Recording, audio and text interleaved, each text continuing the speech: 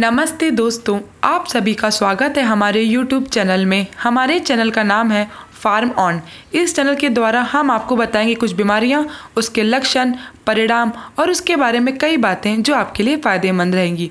हमारा आज का टॉपिक है हाइपरटेंशन हाइपरटेंशन क्या है? चलिए जानते हैं। हाइपरटेंशन को हम हाई ब्लड प्रेशर भी कहते हैं। हाई ब्लड प्रेशर यानी लगातार 120 बटे अस्सी M M of H G जिसका पूरा नाम है मिलीमीटर्स ऑफ़ मरकुरी से अधिक रक्तचाप होना। हर तीन भारतीय लोगों में एक व्यक्ति को हाई ब्लड प्रेशर है। दुनिया भर में हाई ब्लड प्रेशर 75 लाख लोगों की मृत्यु का कारण बनता है। अब हम बात करते हैं इसके कुछ सिम्टम्स यानी लक्षण।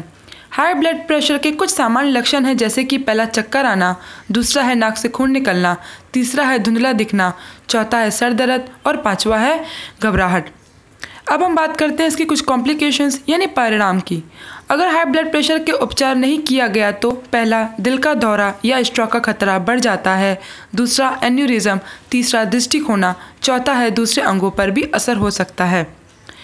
हाई ब्लड प्रेशर के कई कारण हैं, जैसे कि पहला गतिहीन ज़िंदगी और कसरत न करना, दूसरा नमक की मात्रा खाने में ज़्यादा होना, तीसरा अल्कोहल और टोबैको का इस्तेमाल करना, चौथा टाइम पे ना सोना।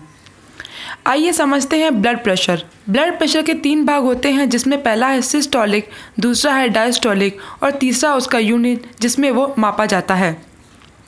अब देखते हैं सामान्य ब्लड प्रेशर और हाई ब्लड प्रेशर क्या है। नॉर्मल ब्लड प्रेशर यानी 120 बटे 80 M M of H G में कोई दवाई की ज़रूरत नहीं होती है। दूसरा है हाइपर प्री हाइपरटेंसिव यानी सिस्टोल 120 से एक सौ उनतालीस और डायस्टोल 80 से नवासी, जिसमें दवाई की ज़रूरत नहीं होती है, पर ब्लड प्रेशर होने के चांस रहता है। फिर है स्टेज वन, यानी सिस्टॉल जिसमें 140 से एक सौ उनसठ और डायस्टॉल 90 से निन्यानवे। इसमें दवाई की ज़रूरत होती है, साथ है, साथ में लाइफस्टाइल में बदलाव लाना भी ज़रूरी है। स्टेज टू, यानी सिस्टॉल 160 से ज़्यादा और डायस्टॉल 100 से ज़्यादा। इसमें भी दवाई की ज़रूरत होती है और साथ में लाइफस्टाइल में बदलाव लाना भी ज़रूरी है।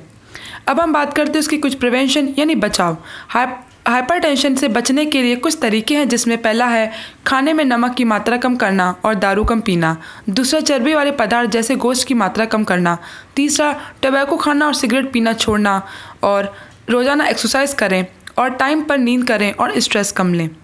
हाइपरटेंशन होने पर हमेशा दवाइयाँ टाइम पर लें, अपना ब्लड प्रेशर नियमित समय पाएँ और D A S H diet पर को अपनाएँ।